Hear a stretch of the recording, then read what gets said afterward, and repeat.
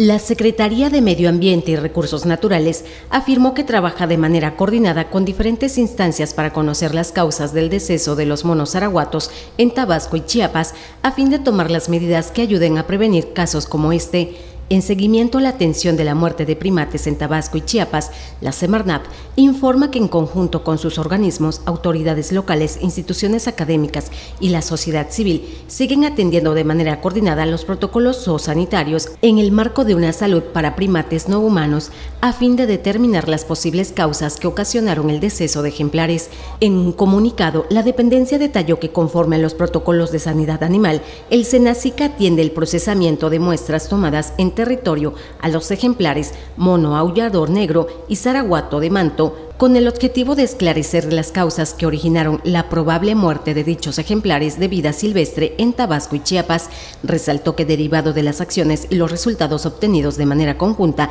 la Secretaría elabora un protocolo de actuación para la atención a primates en vida libre afectados ante las posibles causas de fenómenos naturales y antropogénicos. La Semarnat indicó que hasta el momento ha brindado atención médica brigadas de especialistas en materia de vida silvestre en el marco del convenio de colaboración suscrito entre la Semarnat y la Universidad Juárez Autónoma de Tabasco a través de sus dos divisiones académicas de ciencias agropecuarias y de ciencias biológicas. También se establecen mecanismos de coordinación con el gobierno de Tabasco a través de la Secretaría de Bienestar, Sustentabilidad y Cambio Climático, así como con el Centro de Interpretación y Convivencia con la Naturaleza, Yunca se indicó que la Oficina de Representación de la Profepa en Tabasco, en coordinación con las unidades de protección civil municipales y estatales, con las unidades de manejo para la conservación de vida silvestre, continúan realizando recorridos para la verificación continua en territorio de la condición de sitios reportados por la sociedad civil. Enlistó que con apoyo de la CONAFOR se da atención de manera oportuna a los reportes de incendios de acuerdo con el Centro Estatal de Manejo del Fuego en esas entidades.